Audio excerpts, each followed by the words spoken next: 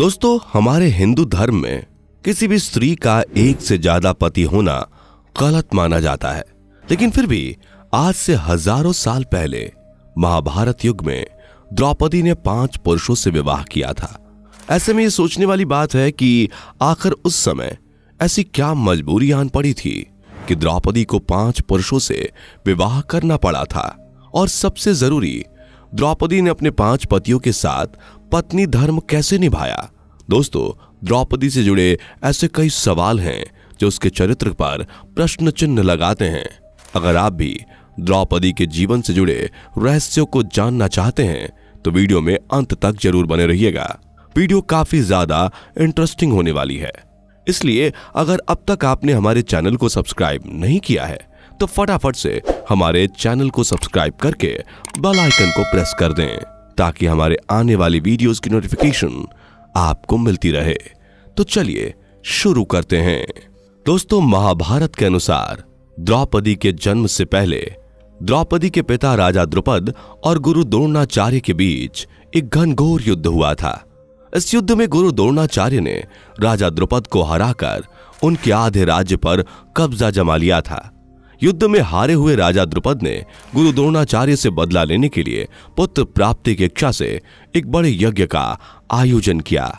उस वक्त यज्ञ की वेदी के मध्य भाग से एक पुत्र के साथ साथ एक अनंत सुंदरी कुमारी कन्या भी प्रकट हुई। इस कन्या के नेत्र कमल के समान, बाल घुंघराले और उसका रंग सांवला था। ब्राह्मणों ने जब उस दिव्य कन्या को देखा तो उन्होंने कहा, यह कन्या रूपवान होने के साथ साथ कृष्ण वर्ण की है। इसलिए इसका नाम कृष्णा होगा। दोस्तों, द्रौपदी इसलिए भी द्रौपदी कहलाई क्योंकि उसका जन्म राजा द्रुपद की पुत्री के रूप में हुआ था। दोस्तों, राजा द्रुपद के मन में द्रोणाचार्य के प्रति ज़बरदस्त नफरत की भावना थी और अपनी इन्हीं नफरत के भावों को उन्होंने द्रौपदी के मन में भी बचपन से कूट कूट कर भर दिया था। द्रौपदी भी राजा द्रुपद की तरह बदले की आग में जल रही थी। और मनी मन ऐसी तरकीबें सोचती रहती, जिससे वह अपने पिता के अपमान का बदला द्रोणाचार्य से ले सके। लेकिन द्रोणाचार्य हस्तनापुर राज्य के संरक्षण में थे। द्रोणाचार्य को नीचा दिखाने के लिए राजा द्रुपद को एक शक्तिशाली गठबंधन की आवश्यकता थी। इसलिए जब द्रौपदी विवाह के योग्य हुई तो राजा द्रुपद ने द्रौपदी के स्वयंवर का आयोजन किया। हालाँकि कृष्ण जानते थे कि धर्म की स्थापना के लिए द्रौपदी का विवाह अर्जुन से होना ज़रूरी है। इसलिए द्रौपदी के स्वयंवर के पहले से ही वह राजा द्रुपद के महल में आकर रहने लगे थे। कहा जाता है, इस दौरान द्रौपदी की भगवान कृष्ण से काफ़ी अच्छी मित्रता हो गई थी। यहाँ तक कि द्रौपदी ने भगवान कृष्ण से विवाह करने की इच्छा भी ज़ाहिर की थी, जिस पर श्री कृष्ण ने यह कहते हुए मना कर दिया था कि वह सिर्फ़ ऐसी स्त्री से ही विवाह करेंगे जो उनके लक्ष्य के प्रति पूरी तरह समर्पित होगी, यानी धर्म की स्थापना के कार्य में उनका पूरी तरह से साथ देगी। उस स्त्री की कोई भी सैन्य या राजनीतिक मंशा नहीं होनी चाहिए। कहते हैं उस वक्त भगवान श्री कृष्ण ने द्रौपदी को खुश करने के लिए यह भी कहा था कि तुम एक महान स्त्री हो। तुम्हारे जैसी महान स्त्री के मैं योग्य नहीं हूँ। दोस्तों, जब द्रौपदी के स्वयंवर का आयोजन हुआ तो उस वक्त पाँचों पांडव, युधिष्ठिर, भीम अर्जुन, नकुल और सहदेव ब्राह्मण वेश में वनवास काट रहे थे। वे अपनी माँ के साथ एक गरीब कुम्हार के घर में रह रहे थे और भिक्षाटन पर ही जीवित थे। जिस दिन द्रौपदी का स्वयंवर था, उस दिन भी पाँचों पांडव ब्राह्मण के वेश में भिक्षा मांगने के लिए निकले हुए थे। तभी उन्हें कहीं द्रौपदी के स्वयंवर का पता चला। तब अर्जुन ने अपने भाइयों से स्वयंवर में भाग लेने की इच्छा जताई, जिसके बाद पाँचों पांडव ब्राह्मण के वेश में ही स्वयंवर में पहुँच गए। यहाँ स्वयंवर की शर्त के अनुसार, जो भी धनुर्धर ऊपर घूमती हुई मछली की परछाई को नीचे रखे तेल की कढ़ाई में देखकर उसकी आँख को भेद देगा, उसी के गले में माला डालकर द्रौपदी उससे विवाह करेगी। अर्जुन एक श्रेष्ठ धनुर्धर थे, इसलिए उन्होंने मछली की आँख को भेद कर स्वयंवर की शर्त को जीत लिया और द्रौपदी को अपनी पत्नी बनाकर उसे अपने साथ अपने आश्रम ले आए। अब यहाँ आप में से बहुतों के मन में यह सवाल आ रहा होगा कि जब स्वयंवर में द्रौपदी को अर्जुन ने जीता था और द्रौपदी का विवाह अर्जुन से हुआ था तो फिर वह पांडवों की पत्नी कैसे बनी? दोस्तों, दरअसल हुआ यूँ कि जब अर्जुन सहित बाकी पांडव द्रौपदी को लेकर आश्रम लौटे तो उस वक्त कुंती खाना बना रही थी। अर्जुन ने दरवाजे पर ही खड़े होकर कुंती से कहा, माँ, देखो हम क्या लाए हैं। तब कुंती ने बिना देखे ही यह कह दिया, जो भी लाए हो पाँचों भाई आपस में बांट लो। दोस्तों, यहाँ कुंती की भी गलती नहीं थी, क्योंकि रोज़ाना पांडव को दिन भर भिक्षा करके जो कुछ भी मिलता, उसे वे अपनी माँ कुंती के सामने लाकर रख देते थे, जिसे कुंती सभी में बराबर बांट देती थी। इसलिए हर रोज की तरह, जब उस दिन भी अर्जुन द्रौपदी को लेकर आए, और उन्होंने अपनी माँ से कहा कि, देखो माँ, आज हम लोग आपके लिए क्या लाए हैं तो उस दौरान कुंती घर के काम में व्यस्त थी। इसलिए उन्होंने बिना देखे ही यह कह दिया कि जो भी लाए हो, उसे पाँच भाई आपस में बराबर बांट लो।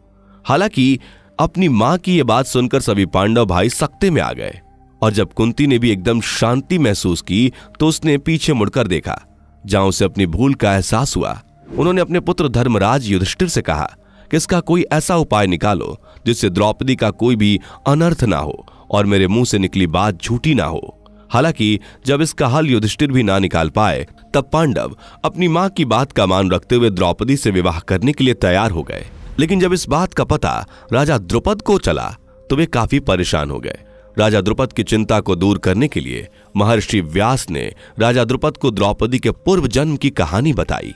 महर्षि व्यास ने बताया कि द्रौपदी अपने पूर्व जन्म में एक ऋषि कन्या थी। वह रूपवती होने के साथ साथ गुणवती और सदाचारणी भी थी। लेकिन पूर्व जन्म के कुछ कर्मों के कारण द्रौपदी का विवाह नहीं हो पा रहा था।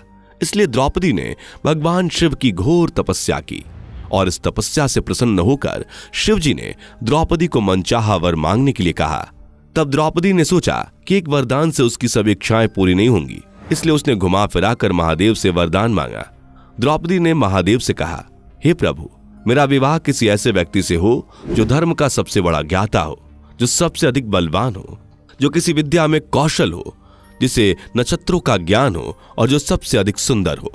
द्रौपदी ने चलाकी दिखाते हुए यहाँ पाँच वरदान को एक वरदान बनाकर मांगा। हालाँकि महादेव द्रौपदी के मन की बात को समझ गए थे, लेकिन उन्होंने द्रौपदी को पहले ही मनचाहा वरदान देने का वचन दे दिया था। इसलिए महादेव ने द्रौपदी से कहा कि तेरी चालाकी को मैं भली भांति समझ चुका हूँ। इसलिए अब तुझे अगले जन्म में एक नहीं, पाँच पति मिलेंगे।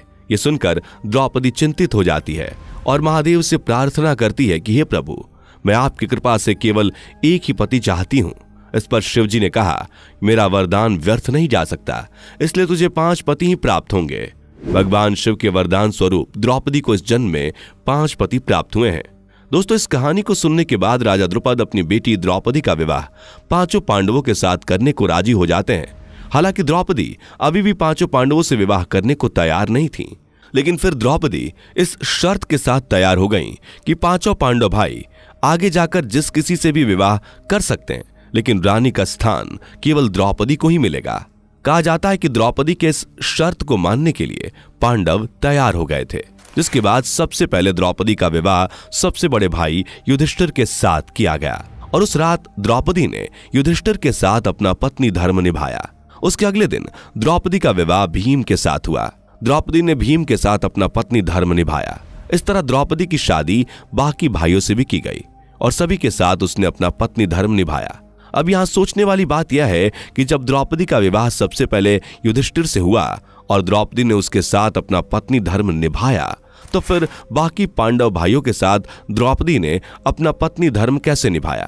तो दोस्तों, दरअसल द्रौपदी हर बार पत्नी धर्म निभाने में समर्थ थी, क्योंकि द्रौपदी को महर्षि वेद व्यास से आजीवन कौमार यानी कुंवरेपन का आशीर्वाद मिला था। इसलिए जब भी द्रौपदी पांडवों में से किसी एक भाई के साथ समय बिताने के बाद दूसरे भाई के पास जाती थी तो द्रौपदी वापस से कुंवारी हो जाती थी।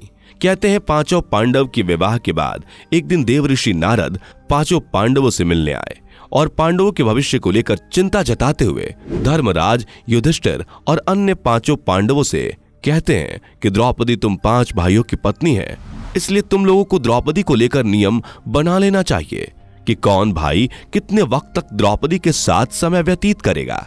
नारद मुनि की ये बात सुनकर धर्मराज युधिष्ठिर नारद मुनि से कहते हैं कि, हे प्रभु, हम पाँचों भाइयों में आज तक कभी भी द्रौपदी को लेकर कोई मनमुटाव नहीं हुआ। और फिर मुझे पूरी उम्मीद है कि भविष्य में भी हमारे बीच ऐसा कुछ नहीं होगा। लेकिन हम आपकी बात नहीं टाल सकते। इसलिए मैं द्रौपदी को लेकर आज ही नियम बनाऊँगा। महर्षि नारद के जाने के बाद धर्मराज युधिष्ठिर नियम बनाते हैं कि द्रौपदी हर साल पांडवों में से किसी एक के साथ ही समय व्यतीत करेंगी। यानी द्रौपदी एक साल तक केवल एक पांडव की पत्नी बनकर रहेंगी। साथ ही जिस समय द्रौपदी अपने कमरे में किसी एक पांडव के साथ होंगी, उस वक्त उनके कमरे में कोई और पांडव प्रवेश नहीं करेगा। यदि कोई पांडव गलती से भी इस नियम को तोड़ता है तो उसे सजा के तौर पर एक वर्ष के लिए वन में जाकर ब्रह्मचर्य का पालन करते हुए बिताना होगा। दोस्तों, कहा जाता है कि एक बार अर्जुन एक ब्राह्मण की मदद के लिए ना चाहते हुए भी द्रौपदी के कमरे में प्रवेश कर जाते हैं। उस वक्त द्रौपदी अपने कमरे में धर्मराज युधिष्ठिर के साथ होती है।